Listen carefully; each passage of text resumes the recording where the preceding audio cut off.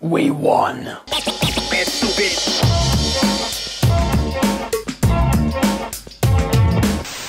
what's going on, people? Welcome back to Football Therapy with me, your host Yan. I hope you're doing well. I really do hope that hashtag no to Ricketts complete. It is done. They have withdrawn. We're gonna read into it a little bit of why, but this is a positive piece of news for Chelsea for those of us who were very concerned about the potential ownership of the Ricketts family of Chelsea Football Club. They have withdrawn from their final bid, leaving three contenders in the ring, which would be Broughton's Consortium, which would be the Todd Boehly Gang, and which would be Big Pagliuca and the Happy Friends. I'm making up these names. Settle in, get comfortable, thank you for liking the video and you're welcome to subscribe if you're yet to do so. A quick note that this video is brought to you by Spitch. I'm delighted to be working with Spitch because they are an awesome fantasy football style game that's totally free to play and utilizes Opta stats. So if you think you know about football, this is a perfect opportunity to demonstrate your knowledge because it's not just about clean sheets and goals.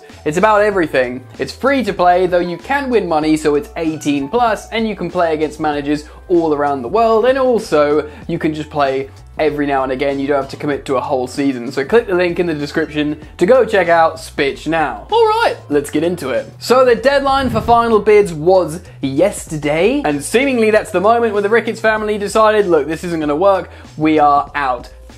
Tap out, we're out of here. Now, just a quick recap. Us Chelsea fans were concerned because of their problematic past. They had, like, you know, the father had Islamophobic emails. There was, like, uh, you know, racist against um, black men and power in politics. People were also criticizing how they run the clubs. If you're interested in all the negative reasons, you can look at the No to Ricketts protesting campaign. But to be honest, it's pointless. Just know that it was bad and just know that they are now are gone. We're going to talk about them withdrawing in just a moment and then we can speculate what next and why we can be positive. We're going to jump into this article now from goal.com written by Nizar Kinsella to get a little bit of additional information on what happened. Chelsea takeover, Ricketts family withdraw bid to leave three parties in the running. A consortium led by the group already controlling a number of sporting franchises in America has decided not to follow up their interest. The Ricketts family led consortium, which had been one of the favoured bidders to buy Chelsea, has announced it will be withdrawing from the takeover battle at Stamford Bridge. Aww.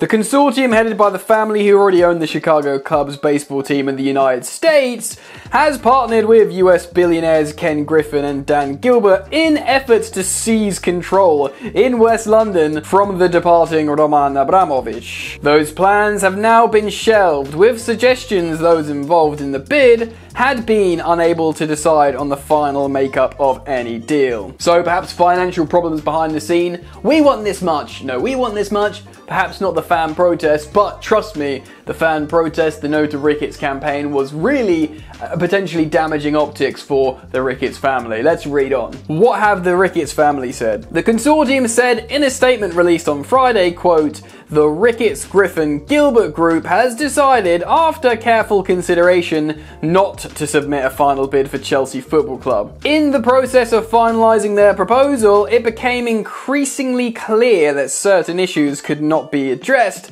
given the unusual dynamics around the sale process. We have great admiration for Chelsea and its fans and wish the new owners well. Hmm.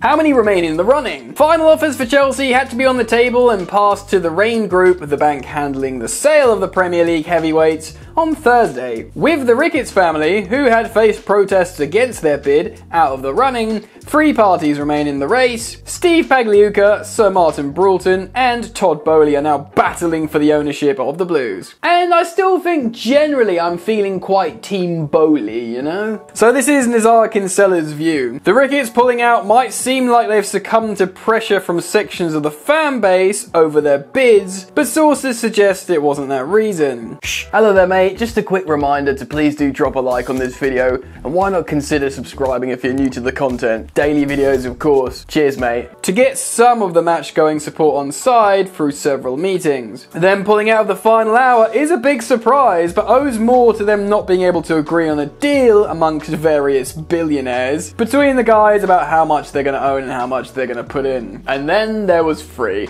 So let's throw the Ricketts away, they're done, out of your mind, no longer have to worry about them. It leaves three potential owners. It's starting to get real now. And one huge positive, which is not something I've necessarily reported on football therapy yet, I can't remember if I've said it or not, but they're all going to be cash buyers, which is absolutely massive. Of course, it means there'll be no leverage buyouts, which means there'll be no Glazer family situation with Manchester United, where essentially you're buying the club with their own money, with the club's money. Which sounds messed up, because it is. So that's a huge positive and a huge tick. We don't have to worry about a leveraged buyout. They're just going to come in with cash. They're not going to lumber any more debt on Chelsea Football Club. And considering we just had like 1.5 billion pounds of debt wiped away from Roman Abramovich, this is hugely positive. Other Premier League clubs and contenders were really upset that Chelsea had their debt wiped away and thought, oh, it's not fair. They'll be even more upset there's not a leverage buyout either, so the club itself will be in no debt. So, where does that leave us? Well, Steve is a bit of a strange one because he hasn't like denounced his connection with Atalanta yet. Like, surely if he was to buy Chelsea, he'd have to sell his Atalanta shares and pretty quickly. But I think he's almost doing the opposite when he speaks to them, which is peculiar. It's very peculiar. Maybe he's trying to keep them sweet until he knows he can buy Chelsea, and then he'll be like, Bye, bitch. well, until then, it's very, very peculiar. Um, I did a video quite recently on Steve Pagliuca when I talked about his potential ownership and went through some news. Feel free to go back and watch that from a couple of days ago. Um, and in the meantime, where I mean, I don't really know that much about the Broughton Consortium. I know uh, obviously it's an English-based or mainly based consortium with different financial backing. But in terms of what I still preference, and maybe it's because I've thought about it more, but I still really like the the Todd Boehly bid. Um, I think maybe he should be favourite now to, to win uh, to win the bidding or to buy Chelsea. We, he's heavily data driven. He's historically spent money on his teams to win. I mean, when you see spent money, it makes you think of Roman Abramovich. And when you think of heavily data driven for success, you think of Liverpool. Combine the both together. winning, winning team. Of course, he's um, successfully run the LA Dodgers. He came into the LA Dodgers as a sort of part ownership or majority shareholder, I think, or largest shareholder, I think, um, after they had some controversy and he came in and, and did really well. Chelsea, he'll be coming into Chelsea after there's been some controversy. So there's parallels there, and you'd hope that he'd be able to do a similar thing with Chelsea Football Club in terms of just settling everything down and, and making us great again, MAGA. Whatever. I'm not going to think about uh, Donald Trump jokes now.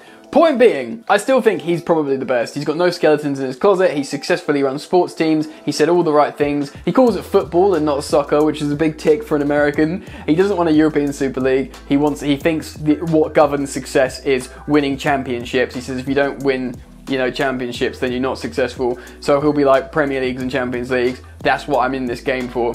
That's what Chelsea have to do. And also, all the potential owners, or the three remaining, they would have watched that Chelsea game against Real Madrid. They would have watched Chelsea outplay Real Madrid, who have got the record number of European Cups, in their own backyard and think, yeah, we can do something with this. You know, just have, use this heavily data-driven model and be like, right, what do we need? Well, they need a better, you know, they needed to get rid of Lukaku because he doesn't suit them. All right, right, they need to, you know, revitalize the midfield and you need backup in, on the flanks and the wingback positions. Boom, boom, boom, let's do it. Let's use the Moneyball model and find some appropriate cover and work with the coach Thomas Tuchel. And of course, top of the list is keeping Thomas Tuchel happy. Honestly, like, I'm pretty, I'm gonna be okay with whoever gets it now. Out of those four, the biggest concern for me was the Ricketts. They're gone. I feel good from here. I, feel, I mean, just because I preference Boehly, and to be honest, it's more of a gut feeling because they're all saying positive things. You don't really know until you know in terms of them being successful and in terms of them, you know, actually being able to run a Premier League football club well. So we'll have to see what happens, but I wanted to react to this big news because it's big news. I'll put it out to you guys. Um, comment down below. What do you think? How do you feel? Who do you want? What's going on? Um, a lot of people have been messaging me on social media about not getting notified. As YouTube's got a bit funny for me at the moment, so please do turn all notifications on when you subscribe so you guys don't miss videos because that's been happening recently and it's très très triste. Very sad. Thank you for subscribing. Thank you for liking the video. Enjoy the football, and I'll see you later so tough with that bad boy tuck. I'ma get it how I'm living, I'ma walk the walk. Outline my lines, I rap through thought. Body bag the verse, outlined in chalk. In my life, seen trouble, hustle on the double, silence on the trigger like my pick got a muzzle. Yo, chick like to guzzle, bad boy stay in trouble. I only love this paper, sorry I don't. I laugh me, baby.